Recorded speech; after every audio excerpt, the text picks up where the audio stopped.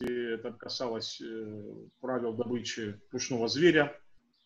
Э, но сам Владыка не любил похвал в свой адрес. В одном из писем к Андрею Николаевичу Муравьеву он писал, между прочим, «Э, «Имею честь припроводить к вашему превосходительству мое марание, несколько мыслей об улучшении торговли в северо-восточной Сибири, о чем я имел честь говорить с вами в Камчатке. Подобное дело совсем не мое, но я русский, и при том смею похвалиться не последний по любви к Отечеству. Считаю за грех не высказать того, что может служить к пользе его, то есть Отечества. В этих мыслях не ищите порядка и большой основательности, а тем менее полноты в изложении предмета. Это дело того, кто будет составлять проект – а я только хотел указать на те предметы, которые немногим известны и которые, по мнению моему, необходимы. Такую оговорку добавляет, что я бы желал в случае, если это мое марание будет стоить того, чтобы его показать кому-либо, чтобы имя марателя умолчено, если только можно. Я не ищу славы себе, а пользы краю. Это вот свидетельство, одно из свидетельств о том, что не искал действительно владыка ни славы себе, ни похвалы за те труды, которые он предпринимал, нес и совершал.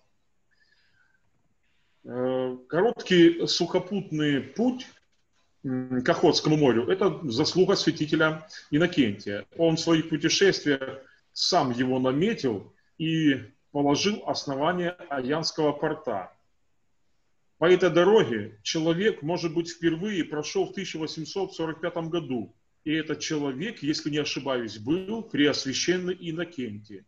Он искал другой дороги к морю, кроме той, признанную неудобную, которая ведет от Якутска к Охотску, и проложил тракт к Каяну. Это вот свидетельствует, так и пишет, э, опять же, э, писатель Иван Александрович Гончаров, которого я уже немало цитировал. Э, кстати, э, с Аямом, э, с этим портом Аянским, связано вот происшествие в жизни святителя, вот о котором я считаю нужным, необходимым упомянуть. В Крымскую войну Англия и Франция вступили на сторону Турции. Ну, это неудивительно. Все, что нам плохо, им хорошо. И в 1855 году английская эскадра разоряет порт Аян – но жители э, заблаговременно ушли в лес большей частью. А владыка Иннокентий прибыл туда, чтобы поддержать э, пострадавшую паству, собирал своих духовных детей, совершал молебны и требы, и даже крестил тех, кто успевали появиться на свет Божий в эти вот такие нелегкие, трудные дни. И однажды во время совершения Воянской, Воянской церкви молебна э, с коленопреклонением о даровании победы над неприятелем, туда ворвались шумом и криком английские офицеры. Вот э, невозмутимое спокойствие владыки и его благоговейное выражение лица поразили англичан и заставили их э, смолкнуть и смиренно э, выждать окончания службы. После чего они попытались его арестовать, но он, засмеясь, убедил их не обременять себя лишними расходами Э, на бесполезного пожилого пленника, а заодно отпустить захваченного в плен э, священника Василия Мохова э, с фрегата «Диана». Но также, кроме священника, еще и раненых русских моряков. Впоследствии святитель Иннокентий вспоминал, если бы знали вы, англичане, о чем я молился тогда, то, наверное, тут же бы растерзали меня одна из заслуг святителя Иннокентия, это, конечно же, освоение Амура. Вот здесь на этом вот слайде э, такой вот рисунок, картина, где святитель стоит э, с Муравьевым. Э, впоследствии ему было еще добавлено ну, как звание, титул Амурский. Э, это, это друзья, соратники по жизни, по деятельности э, ну, церковной, и государственной. И вот надо сказать, что до сих пор, конечно же, в Благовещенске стоит памятник святителю Иннокентию, до сих пор жители Благовещенска с благодарностью вспоминают, чтут его память святителя, потому что он является одним, ну, можно сказать, чуть ли не главным основателем этого города. Вот они вместе с Муравьевым Амурским выбирали это место, и как бы вот так вот художник символически запечатлел вот этот труд. В 1856 году святитель Иннокентий совершил путешествие по этой великой реке. Итогом этого путешествия стал его труд. Нечто о Амуре. В этом труде Э, он доказывал необходимость создания, подумайте, не больше, не меньше, тяжелого Тихоокеанского флота. Это вот э, разносторонность э, забот святителя, его усердного служения и церкви, и Отечеству. А, кстати, некоторыми чиновниками Амур считался бесполезной рекой. Но не так считал Владыка воображая, э, что может быть со временем на Амуре, и в то же время зная, что есть люди, которые явно не хотят и даже противодействуют амурскому делу, это так писал святитель, невольно приходишь к мысли, уже ли эти люди превозмогут? А если так, то, конечно, так угодно Богу. А что ему угодно, то и полезно. Следовательно, надобно покориться. Видно, не пришло еще время владеть нам Амуром, или, видно, не нам им владеть. Но со всей вероятностью можно сказать, что лишь только мы оставим Амур, а мы должны будем оставить его, если китайцы не дозволят нам селиться на нем и плавать с большими ограничениями, то или американцы, или англичане немедленно завладеют им и уже не будут так вежливы соседями нашими. Но да будет во всем воля Бога Вседержителя. Вот удивительное дело. Э, чиновники, менее радеют о государственных интересах, чем владыка Иннокентия. Э, я бы сказал так, что далеко не каждый обладает вот таким усердием, таким старанием, таким умом, такого масштаба, государственного масштаба, каким обладал святитель Иннокентия. Иннокентий, он заботился э, о многом, я сказал бы даже обо всем. Вот э, скажем, даже э, составил проект развития сельского хозяйства на Камчатке, э, где были хорошие пастбища, а скотоводства не было. По его совету на полуостров завезли 300 коров и раздали крестьянские хозяйства. Ну, в общем-то, построили, кроме этого, еще первую животноводческую ферму. Он предлагал заселять Преамурье целыми селами тех, кто переселялся из Центральной России – так как они ну, при переселении сохраняли уклад своей жизни, а центром уклада этой жизни являлся, конечно, храм, приход. А, был против переселения ссыльных, сектантов и даже отдельных семей. Но селениями переселять не получилось. Станичников отправляли по жребию, а многие не хотели. Боялись э, покидать свои насиженные места. И, э, в общем-то, на Преамурье стало попадать много сектантов и порочных нижних чинов. Это в одном из документов так написано, было постановление, кого туда переселять. А что такое порочные нижние чины? Ну, проштрафившиеся, и военные, служивые. Но они, конечно, не могли способствовать улучшению духовно-нравственной обстановки там. И Владыка, конечно, за это переживал. Его это не радовало. А Владыка давал советы по развитию китобойного промысла и защите от иностранных китобоев Э, по развитию пароходного сообщения с материком и э, так далее. Это вот памятник Баранову, правителю Русской Америки, о нем мы раньше упоминали. Так, вот его вот проекты. Прокладка грунтовых дорог, но я уже упомянул о тракте Аянском, э, по его плану, по его заранее, так сказать, разведанному этому пути, Э, вот, э, создание университета в Сибири тоже одна из его э, заслуг. Продажа Аляски конечно же, не могла у владыки не вызвать глубоких чувств. Но в этом акте дальновидный святитель увидел положительные моменты, о чем писал обер-прокурору Святейшего Синода графу Толстому. Я усматриваю в этом событии один из промыслительных путей, посредством которых православие сможет проникнуть в Соединенные Штаты, где оно уже стало привлекать к себе серьезное э, внимание.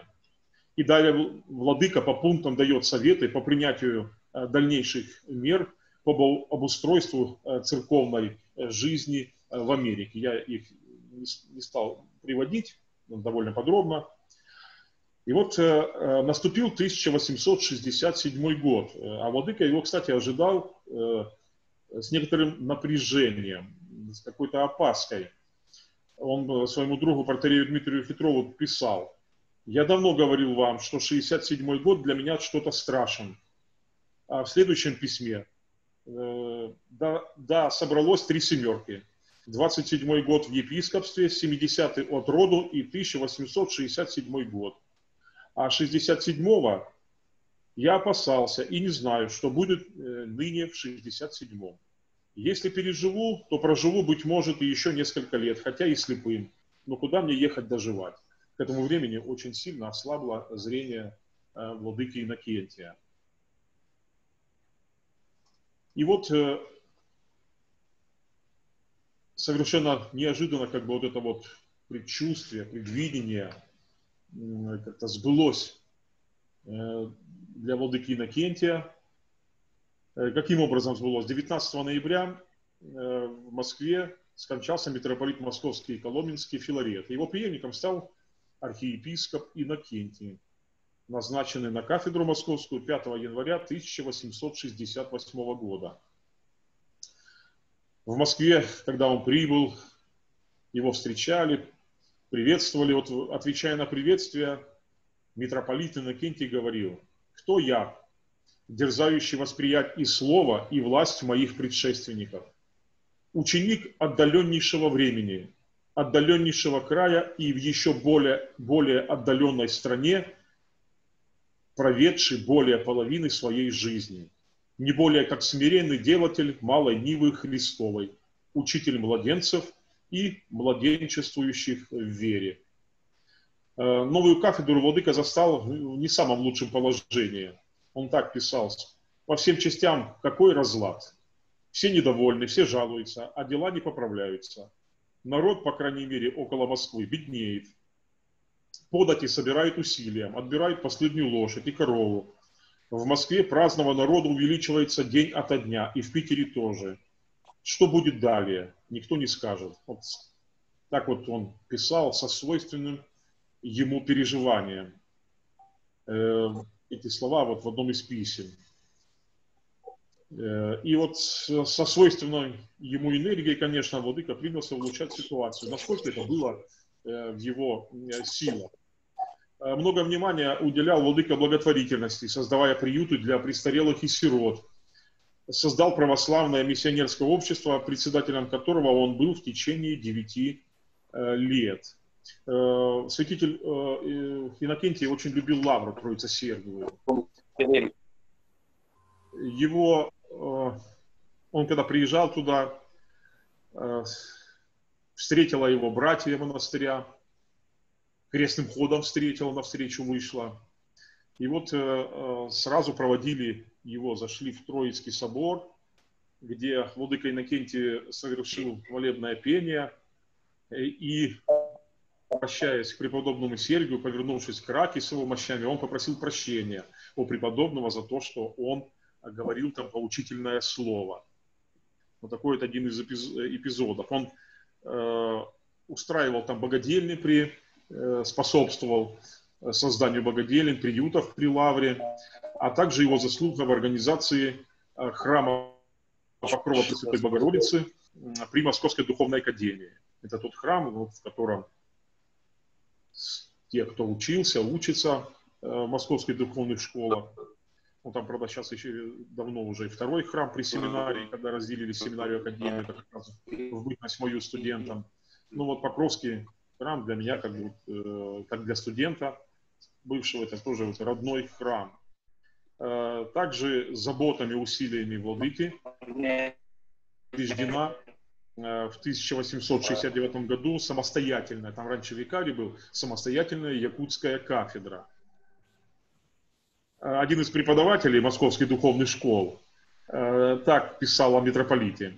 Новый митрополит, сам вышедший из рядов приходского духовенства, умел понимать нужды последнего и по своему благодушию не хотел ставить всякое лыко в строку, снисходя к человеческим ошибкам и слабостям. Он не требовал от духовенства абсолютного молчания, когда сам говорил, и охотно вступал с духовными лицами в разговоры, даже и шутя. Поклонов земных от духовенства он не хотел принимать, и я помню, как на первом его служении в Чудовом монастыре, он, войдя в церковь и облачившись, быстро пошел к алтарю и чуть не отдавил пальцы диаконам, которые, кончив его облачать, бросились перед ним э, на землю. Видимо, последнее его неприятно поразило. Он сморщился, и больше уже никто не кланялся ему до земли. Э, все годы, когда Владыка возглавлял московскую э, кафедру, его верным помощником был сын э, протерей Гавриил. И вот э, Владыка, поставляя отца Гавриила, своего сына, на миссионерское служение на Дальний Восток, обратился вот такими, э, с такими словами э, к нему. «Иди на великое дело, указанное тебе Богом, но смотри, не охладевай сердцем в делании Нивы Христовой, умирай на ней и не озирайся вспять до тех пор, пока не исполнишь возложенной на тебя обязанности. Конечно, эти слова, я думаю, можно каждому из нас принять свой адрес и как, и как завет, как наставление э, для вот исполнения э, в своем служении. Э, Владыка Иннокентий, естественно, сам в полной мере исполнил этот, этот, это правило, этот завет – но, повторяюсь, он очень не любил похвал. Вот есть такие его слова. «Могу ли присвоить себе что-либо из того, что при мне или через меня делалось? Ибо Бог видит, как мне тяжело читать или слышать, когда меня за что-либо хвалят. Признаюсь, я желал бы, если бы это было возможным, чтобы нигде не упоминалось мое имя, кроме перечней и поминаний. Какова, каково смирение, какова скромность Э, перед Богом и перед, перед людьми. Э, очень показательно в этом отношении э, духовное завещание святителя. Прежде всего воздаю благодарение Господу Богу моему, выну благодеющему мне и хранившему меня во всех путях моих.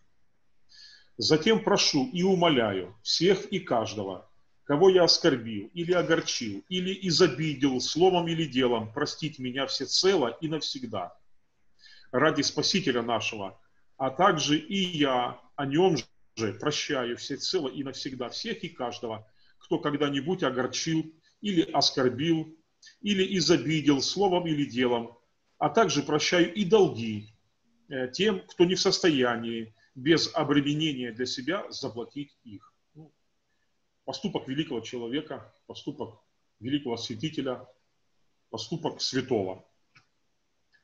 Прошу и умоляю не говорить никаких речей ни прежде, ни во время, ни после погребения моего. И вот тут, тут какие слова э, хорошие. Если и при тусклом свете истины, коим я водился в жизни моей, мне тяжело было слышать похвальные речи и приветствия, то как я должен буду мучиться там, где сама истина, слыша похвалы незаслуженные. Удивительные слова. Великий в делах, великий в смирении. Я могу от, от себя вот так вот сказать.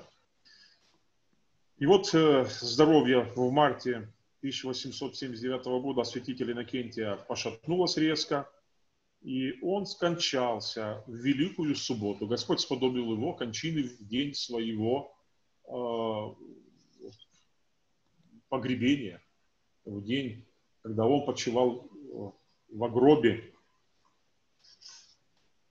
Э, и после погребения, конечно, понятно, звон, который огласил Москву, жителей Москвы о кончине их.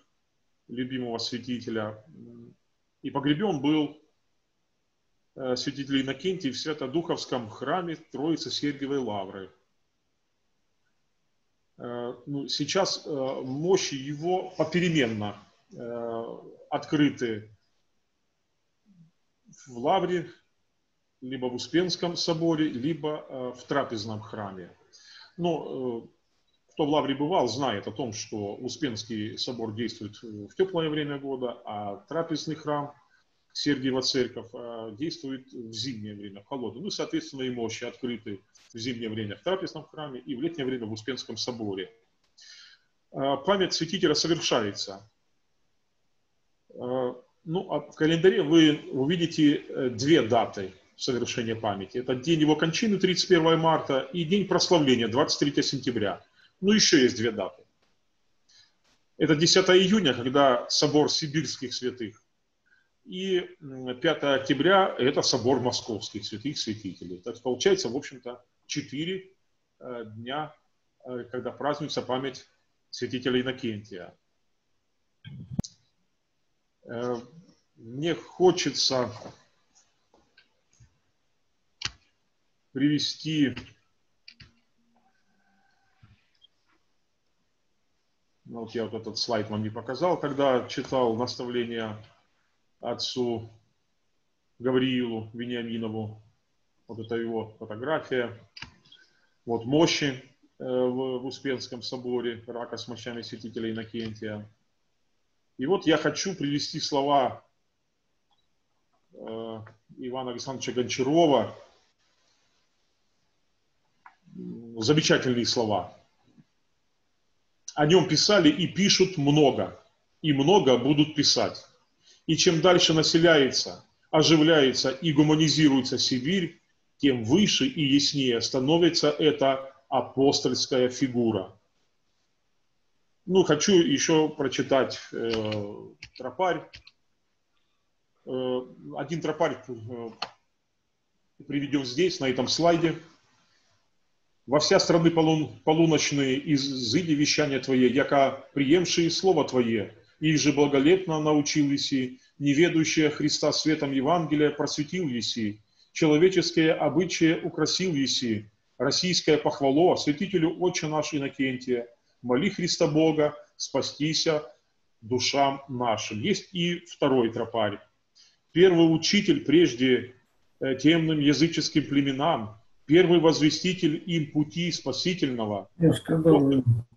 Апостольский, потрудивайся в просвещении Сибири и Америки, святителю Отче наш Иннокентия, владыку всех моли, мир вселения даровати и душам нашим велию милость. На этом вот благословите, позвольте закончить э, свой э, короткий, наверное, все-таки рассказ о э, святителе Иннокентии. Э, полностью описать его жизнь, его труды, это, это дело э, отдельного труда, объемного труда. А в рамках наших встреч, наших бесед, я думаю, не могу сказать, что я выбрал самое, может быть, важное, самое лучшее, самое интересное, самое назидательное, поучительное.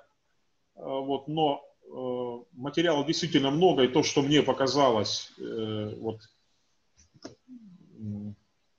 соответствует, соответствует этим, теме. Я перечислил, я думаю, может быть, но судить не мне, судить вам, как у меня получилось или нет.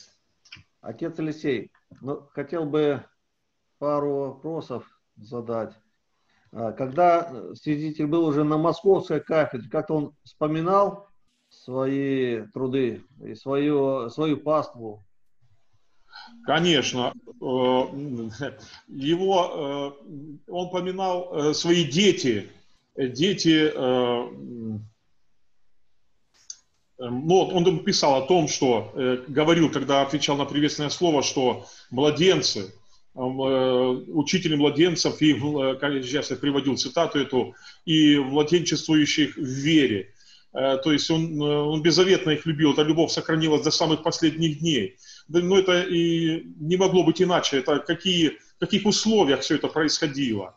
А какое, какая простота, простосердечие было э, по отношению к своему пастырю, своему святителю со стороны тех коренных э, племен. Они же любили его и от всего сердца. Э, поэтому, конечно, любовь это сохранилась. И а, взаимная любовь. Я думаю, что и сейчас это... Скажите, пожалуйста, какие-то училища там основал он в тех краях? Э, семинария была. Он, он, значит, основал семинарию, но в, на Аляске. Она а. просуществовала недолго, а потом была переведена через некоторое время в Якутск. Ясно. А из местных жителей кто-то становился священником, из алиутов или якутов или еще? Э, да, становились, э, но в то же время святитель Иннокентий, эту цитату мог, хорошо было бы привести, он э, сетовал на то, что местные, ну не все, там племена разные были, и у всех разные были особенности, способности, отличительные черты. И он писал о том, что все-таки надо с э, России привозить миссионеров, священников еще, потому что э, ну, тяжко, тяжеловато им давалось многим местным. Это ну и доверие, наверное, к русским больше будет, чем учетчикам, чедалам там и так далее. И доверие, и там он пишет их ну, особенности мышления, э, интеллектуальные особенности. Говорит, вот кто-то, ну, кто-то из каких-то племен, они, ну, хороши там, где смышленность нужна. Вот. А вот то, что вот э, э, надо знать вот священнику уже, как бы становясь священником, они как бы трудновато давалось. Ну, там он перечисляет, какая, какая народность, э, какой народ, вот, чем отличались. Э, и вот понятно, что эти особенности сказывались на вот этом отношении святителя, что надо все-таки а, из России кадры поставлять, ну так скажем. А в тех краях, где он был святителем, э, храмы в честь него имеют сейчас? Есть такие данные? Э, да, несколько э, храмов. Я сейчас у меня передо мной нет вот это, но храмы есть святителя Иннокентия. Э, вот буквально у меня тут, ну сейчас я уже потеряю время, если я э, буду листать это. Но храмы, да. Еще без... да, просьба такая. Э, в группу Ейская горница выложить, может быть, ссылочки на материалы, которые вам э, известны в электронном виде, видео, фильмы, материалы и прочее вот по теме стиля. Э, я... Для самостоятельной работы уже нам. Мы, а отцы разошлют по своим благочиниям, вот, чтобы немножко закрепить эту тему. Я понял, Владыка, да, конечно, я ссылки на труды, э, на эти вот ресурсы, которые ну, у меня книжки, которые я уже довольно давно покупал, я к ним как бы вернулся, прочитал тоже давно, что-то забыл, что-то осмотрел. Эм, кстати, одну книжку не нашел, вот поэтому пришлось восполнять по некоторым. Э, я говорил уже о том, что э, первый раз прочитав э, вот книжку о святителе Иннокентии, его письма, я выписал по интернету себе книжку от Гончарова «Фрегат Паллада». Именно из-за того, что в некоторых источниках, в том числе и э, которые были у меня, э, я ознакомился с цитатами из этой книги. Мне захотелось вот именно э, в первоисточнике это увидеть. Но книжка «Фрегат Паллада» довольно большая. Вот, вот такая вот книга. А вот, ну, конечно, я ее прочитал всю, чтобы прочитать несколько страниц о святителе. Но в этой книжке э, это вариант издания э, фрегата Паллады при жизни святителя Иннокентия. Я говорил о том, что э, святитель ведь не любил, чтобы его хвалили, и Гончаров там очень коротко о нем отозвался. А после смерти было переиздание и отдельный еще очерк, по-моему, по Восточной Сибири он писал, там он подробно. И цитаты я уже приводил именно из подробного описания Гончаровым встречи и не только встречи, а вот э, какого-то проживания в Якутске, э, общения, долгого довольно, общения с, с владыкой Иннокентием. И, как говорил, это свидетельство, многие исследователи жизни святителя Иннокентия считают бесценными эти свидетельства. Я так понял, на труды Николая Японского благословил святитель Иннокентий, да, когда тут проездом был? Но он, э, да, э, но все-таки это проездом уже в Японии он ехал. Да, да, да. А да. вам знаком случай, когда будущему мстителю Николаю пришлось там немножко неправду сказать одной женщине. Вот я, я по-моему, читал, только вот не, э, не помню, о чем это было. Я помню другой случай, когда владыка Иннокентий был в Японии. А, и и э, у, у, уже был там отец, значит, Касаткин, он был там, и святитель Иннокентий увидел у него книгу на французском языке. Не помню, там указывается, какая книга или нет. И, и святитель Иннокентий ему сделал замечание – ты, говорит, язык изучай, говорит, а это тебе сейчас не нужно. Вот. И, э, да, поэтому вот, э, скажем так, наставлению святитель Николай э, Касаткин, он вот 7 лет, по-моему, он занимался изучением языка. Это, конечно, очень такой, я считаю, немалый срок, но ведь зато это уже как бы второй вопрос, или как бы второй Э, вторая тема, или тема второго выступления в этой секции, секции миссионерства. А вот. Там, я думаю, кто будет выступать, это подробно расскажет, но ведь святитель Николай, он стал настолько своим в Японии.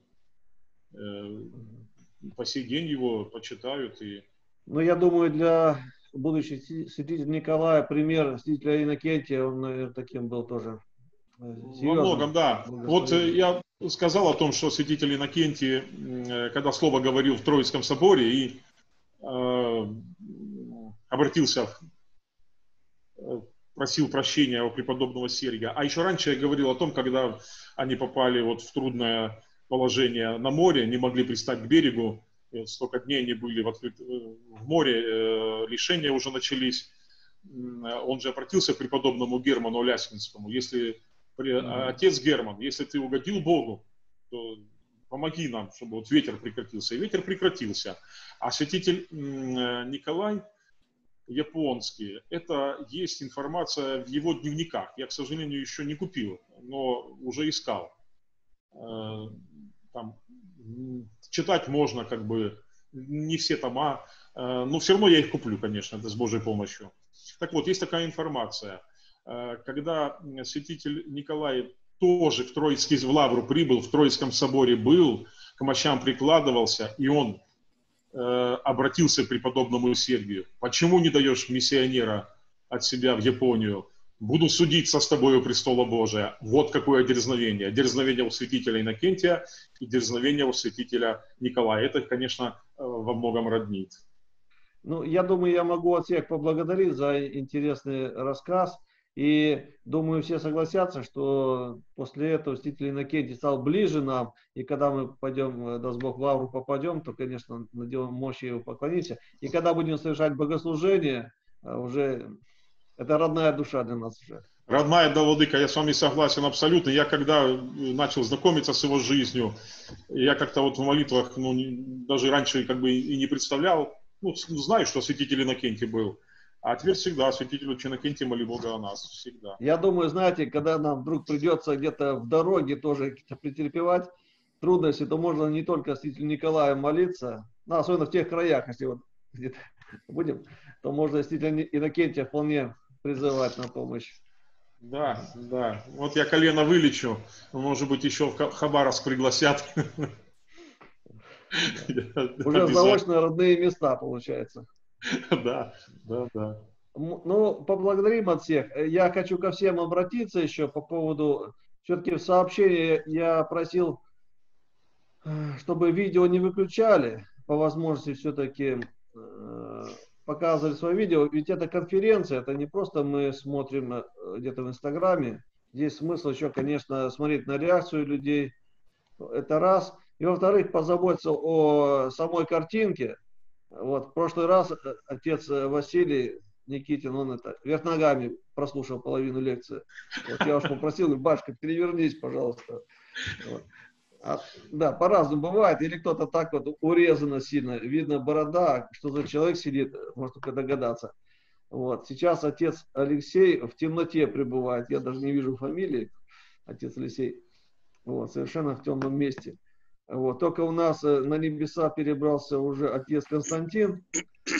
Но это он за спиной имеет, э, я так понимаю, монохром какой-то зеленый. И да. дальше пользуясь своими преимуществом в знании компьютерной техники, он, значит, сам фон меняет, может от настроения, как у хамелеона зависит от настроения, как раз так что э, этой лекцией он доволен, похоже. Да. Но у него есть наушники, еще парашют осталось сзади. Да, да. да. Хорошо. Приветствую Таджикистан, отца Романа, матушку вашу. Ну, благодарю всех, кто э, э, прислушался к совету, значит, и картинку хорошую, и с матушками, конечно, это очень приятно, когда все семейство прибывает. Ну, остальных, кто сегодня изображение не дал, призываю все-таки э, прислушаться и так, чтобы нам вместе такое заочное общение, очно-заочное. Вот. Но надо еще, смотрю, отец Вячеслав Трушин так, похоже, не подключился э, звука. Наверное, он не слышал нас совсем. Вот. И потом отец Никита Кузнецов, не знаю, звук слышал или нет. Я видел, что у него аудиоустройство не было подключено. Вот. Ну, в общем, по, во всем поответственнее. Если телефон стоит вертикально, то картинка урезана, более панорамно получается лежа телефон. Ну, всех благодарю за участие. Думаю, это не потеряно для нас время. И мы обрели еще особого молитвенника на небесах, Мстителя Иннокентия. Ну, Спасибо, Господи, Владыка. Спасибо, Господи, Отец Алексей. Спасибо, Господи. Господи, Владыка. Спасибо. Спасибо, Господи. Отец Алексей. Отец Алексей, подставь, пожалуйста, на пару секунд. Вот здесь заставка у тебя была, где сын Владыки. Я не успел сфотографировать, она так быстро исчезает. Сын, сын. Сейчас, сейчас. Вот. Нет. Да, это можно всем почитать, конечно, потому что полезно. Нет, вот, да-да. Все, снял, спаси Христос. Он помогал владыке, ну, отцу своему, э, и понятно, что из-за слабого зрения под, под конец он практически ослеп полностью. Он и почту разбирал, под диктовку писал письма, э, читал э, почту полученную, и в ответ писал под диктовку отца э, письма также. Надо в следующий раз изображение, ну хотя секунд по 10 держать, чтобы успеть их сфотографировать. А, я некоторые такие полезные. хорошо отлажена. Э, да, мелькали туда-сюда, более так тщательно к этому. Вот, я это, я немножко э, текстом увлекся, а слайды не переставлял. Но э, для меня дело новое, я учусь только. Э, сын вот сидит рядом у меня, здесь, но ну, тоже еще где-то прозевал. Матушка вышла уже, рядом была. Я не вижу, матушка, а где отец Евгений Подвысоцкий там? Он не вошел в кадр, да? Матука, я здесь, просто тут, ну, не вошел, да. Да, ясно. А вот, вот здесь.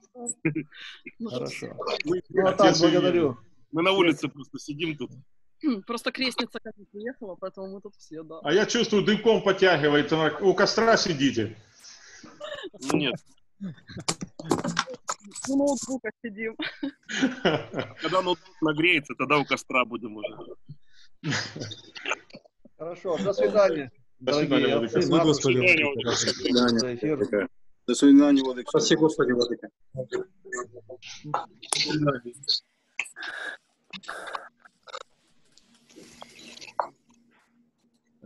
Красиво начал с храмов. Я только-только в интернете читал храм святителя Иннокентия. Я думаю, не буду приводить их, а запомнить не запомнить. Сейчас у нас еще. Отец Василий. Отец Василий не слышит. Слышит, что там Отец... Отец Василий какой? Никитин. Ты, ты. Никитин, а, вот он. Да.